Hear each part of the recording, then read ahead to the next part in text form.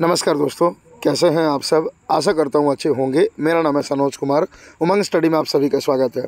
जी हाँ फ्रेंड्स, इस वीडियो में बात करने वाला है group D and new vacancy के बारे में। तो क्या है जानकारी? सारी जानकारी आपको डिटेल में मालूम चल जाएगी। उससे पहले यदि अगर अभी तक आपने उमंग स्टडी यूट्यूब चैनल को सब्सक्राइब नहीं किया है तो सब्सक्राइब करके बेल आइकन को ज़रूर दबा दीजिएगा। रेलवे भर्ती की हर पल की अपडेट के लिए। वीडियो स्टार्ट करें उससे पहले आप सभी स्टूडेंट्स के लिए एक इन्फॉर्मेशन है फ्रेंड कि बहुत बड़ी संख्या में स्टूडेंट्स के लगातार हमारे पास सवाल आ रहे हैं कि sir text book pass pro का सिस्टम क्यों लाया गया? तो आपकी जानकारी के लिए बता देना चाहता हूँ फ्रेंड कि पहले टेक्स्ट बुक पास में क्या होता था? कोई भी एक पर्टिकुलर टेस्ट आप लगाते थे तो उसको एक ही बार लगा सकते थे। और स्टूडेंट चाहते हैं कि जितना ज़्यादा से ज़्यादा उस पर्टिकुलर टेस्ट की वो प्रैक्टिस कर सके, ताकि होता क्या है कि जो फ़र्स्ट अटैम्प्ट में स्टूडेंट जो मिस्टेक करते हैं स्टूडेंट चाहते हैं उन गलतियों से सीख करके जब उसी टेस्ट को दोबारा दें तो वो गलतियाँ दोबारा रिपीट ना हो। तो टेक्स्ट बुक पास प्रो में क्या होता है, एक पर्टिकुलर टेस्ट को आप अनलिमिटेड बार दे सकते हैं। दूसरा फीचर क्या क्या कारण रहा, जिसका कारण से टेस्ट बुक पास प्रो को लाया गया कि प्रीवियस ईयर पेपर जो टेस्ट होते हैं, इसका भी आप लोग अनलिमिटेड टेस्ट लगा सकते हैं। और इस बार के जो सीजीएल के टॉपर हैं, मोहित चौधरी जी, ये भी टेस्ट बुक के टेस्ट बुक पास प्रो को यूज़ करते हैं और इनको बहुत ही ज़्यादा बेनिफिट भी हुआ है। और अभी आप सभी स्टूडेंट्स के लिए बहुत ज़्यादा स्पेशल और यूनिक ऑफ़र है कि तीन दिन के लिए जैसे कि आपको टेक्स्ट बुक पास प्रो का वैलिटी बिल्कुल फ्री ऑफ़ कॉस्ट प्रोवाइड करवाया जा रहा है। तो जिस भी पर्टिकुलर स्टूडेंट को लगता है कि टेक्स्ट बुक पास प्रो मेरे साथ एक धोखा है तो वैसे स्टूडेंट कहते हैं, पहले इस्तेमाल करें, फिर विश्वास करें। आप लोग तीन दिन का आपको बिल्कुल फ्री एक्सेस दिया जा रहा है। पहले आप यूज़ करिए, आपको लगता है कि टेक्स्ट बुक पास प्रो अच्छा है, हमें टेक्स्ट बुक पास प्रो के साथ जाना चाहिए, तभी आप जाइए, वरना आपको जाने की कोई आवश्यकता नहीं है। और दस लक्की जो विनर होंगे, उसको टेक्स्ट बुक पास प्रो बिल्कुल फ्री दिया जाएगा। तो वीडियो का डिस्क्रिप्शन में, साथ ही कमेंट सेक्शन में आपको एक लिंक प्रिंट क्यों मिलेगा, उस लिंक पर क्लिक करके पहले से टेक्स्ट बुक आपको डाउनलोड करके रखें तो बहुत अच्छी बात है। नहीं डाउनलोड करके रखें तो पहले डाउनलोड कर लीजिएगा। वीडियो को स्टार्ट करने के लिए फ्रेंड्स हम लोग आ चुके हैं आरआरसी एनईआर की वेबसाइट पे N dot Indian railway gov dot in यहाँ पे देखेंगे रिक्रूटमेंट फॉर लेवल वन वाले सेक्शन में, ठीक है? यहाँ पे सीरियल नंबर ट्वेंटी वन में आपको एक अपडेट दिखेगा पर्टिकुलर देखेंगे। Second DV list and schedule for C N R R C one दो हज़ार उन्नीस। पोस्टिंग डेट है बीस मई दो हज़ार तेईस डाउनलोड क्लिक हेयर इस लिंक पर जैसे हम क्लिक करेंगे, आपके सामने इस तरीके के नोटिस होगा ओपन होगा, जो कि हम लोगों ने अपने टेलीग्राम पर भी डाल दिया है तो यहाँ से आप लोग डाउनलोड करके इसको रीड भी कर सकते हैं।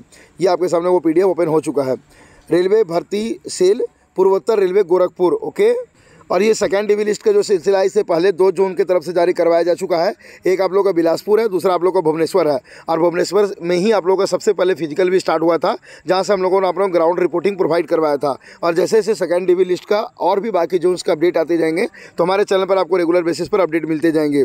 ये देख सकते हैं द्वितीय प्रलेख सत्यापन हेतु बुलाए गए अभ्यर्थियों की सूची तथा प्रलेख सत्यापन का कार्यक्रम list of candidates call for second document verification and the document verification schedule okay तो टोटल ये आप लोगों का सात पेज का पीडीएफ है। तो जो जिन भी स्टूडेंट का नाम शॉर्टलिस्ट हुआ है, सभी स्टूडेंट्स को ढेर सारी बधाइयाँ, सभी स्टूडेंट से रिक्वेस्ट होगा। इस नोटिस को आप लोग ध्यानपूर्वक पढ़ेंगे और हर एक इंस्ट्रक्शंस को अच्छी तरह से फॉलो करेंगे। अगली जो अपडेट आ रही है फ्रेंड ये नोटिस भी हम लोगों ने अपने टेलीग्राम पर डाल दिया है। डिविजनल रेलवे मैनेजर जबलपुर की तरफ़ से आ रही है। प्रिय अभ्यर्थी, यहाँ पे देखिए कुछ इंस्ट्रक्शंस दिए गए, एक मिनट रुक जाइए।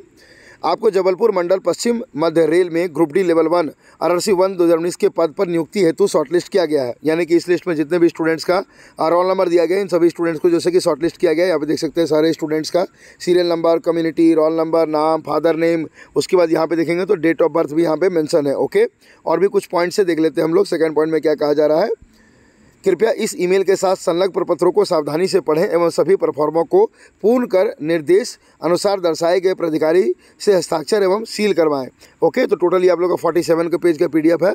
सभी स्टूडेंट्स से रिक्वेस्ट होगा। सारे इंस्ट्रक्शंस को डिटेल में फॉलो अप करेंगे और इसको जाकर के आप डाउनलोड कर लेंगे हमारे टेलीग्राम से। Okay?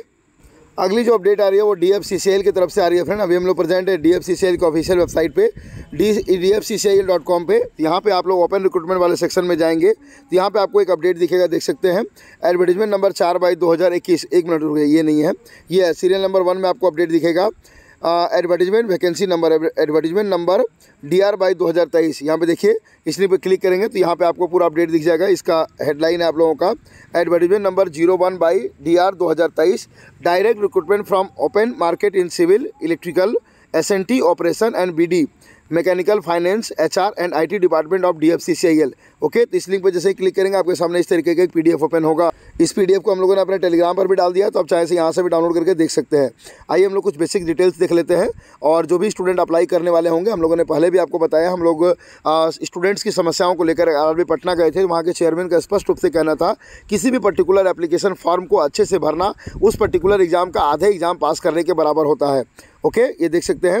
Dedicated freight corridor corporation of India limited एक गवर्नमेंट ऑफ़ इंडिया इंटरप्राइज तो स्टार्टिंग में डीएफसी सेल के बारे में बताया गया तो जो भी स्टूडेंट डीएफसी सेल के बारे में ज़्यादा जानकारी चाहते हैं तो इसको आप लोग कंप्लीट रीड आउट कर सकते हैं, ठीक है? एप्लीकेशन फॉर्म की बात करते हैं तो opening date for online registration of application बीस मई दो हज़ार तेईस शाम के चार बजे से। तो आज बीस मई दो हज़ार तेईस है और शाम के चार भी बज चुके हैं। पीडीएफ में ही एक लिंक दिया गया क्लिक है टू अप्लाई इस लिंक पर जैसे ही क्लिक करेंगे, आप लोग अप्लाई ऑनलाइन वाले पोर्टल पर रीडायरेक्ट कर दिए जाएँगे। अभी देखिए हम लोग यहाँ पे क्लिक किए हैं तो सीधा हम लोग को रीडायरेक्ट कर दिया गया है C D N N dot D G A L M dot com पर ठीक है? यहाँ पर देखिए आप लोगों का सारा है। To read detail advertisement click here to read instruction click here already register to login यहाँ पे टू रजिस्टर रजिस्टर नहीं है तो यहाँ पे पहले अपने आपको रजिस्टर कर लेंगे और पहले से रजिस्टर्ड है तो आप डायरेक्ट लॉग इन करेंगे। तो एक हम लोग आपको डेमो दिखा देते हैं। ये देखिए आप लोगों का, कुछ इंपॉर्टेंट डेट्स भी देख लेते हैं। स्टार्ट डेट अभी हम लोगों ने बता दिया 20 मई 2023 शाम के चार बजे। लास्ट डेट है 19 जून 2023 तो कोई भी स्टूडेंट लास्ट डेट का इंतज़ार बिल्कुल भी नहीं करेंगे। हेल्प डेस्क के लिए यहाँ पे आप सभी स्टूडेंट्स को एक नंबर दिया गया है। आपको किसी प्रकार की कोई भी सहायता चाहिए है तो इस नंबर पर फ़ोन करके आप लोग सहायता भी मांग सकते हैं। ओके तो चलिए हम लोग रजिस्टर पर क्लिक करते हैं, देखते हैं कैसा पोर्टल आप सभी स्टूडेंट्स के लिए ओपन हो रहा है।